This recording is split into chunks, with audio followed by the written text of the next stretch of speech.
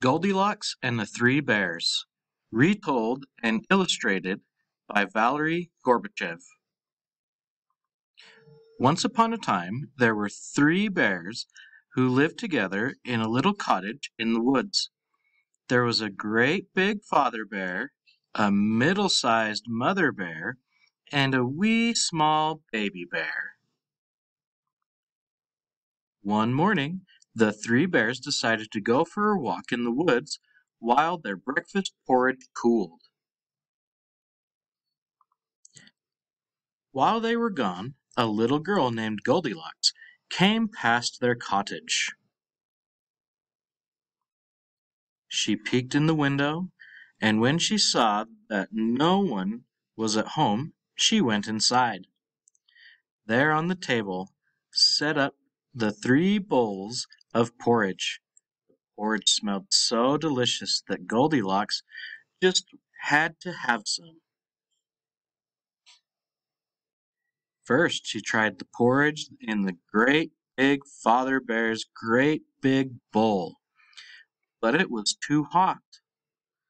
Next, she tried the porridge in the middle-sized mother bear's middle-sized bowl, but it was too cold. Then she tried the porridge in the wee small baby bear's wee small bowl, and it was just right. So she ate it all up. When she had finished the porridge, Goldilocks wandered into the sitting room, where she found the three bears' chairs. First she tried the great big father bear's great big chair but it was too hard.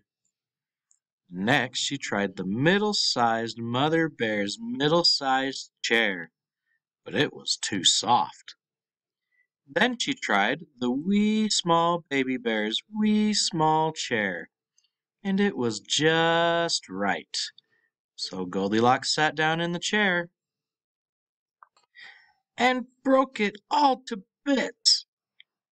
Then Goldilocks went upstairs, where she found the three bears' beds. First, she tried the great big father bear's great big bed, but it was too hard. Next, she tried the middle-sized mother bear's middle-sized bed, but it was too soft. Then she tried the wee small baby bear's wee small bed, and it was just right. So Goldilocks lay down and fell fast asleep. No sooner had Goldilocks fallen asleep than the three bears returned home. Their walk had made them very hungry, so they hurried right into the kitchen. Goldilocks had left the spoon in the great big father bear's porridge. Someone has been eating my porridge, said the great big father bear in his great big voice. The middle-sized mother bear saw that the spoon had been left in her bowl's porridge too. Someone has been eating my porridge, said the middle-sized mother bear in her middle-sized voice.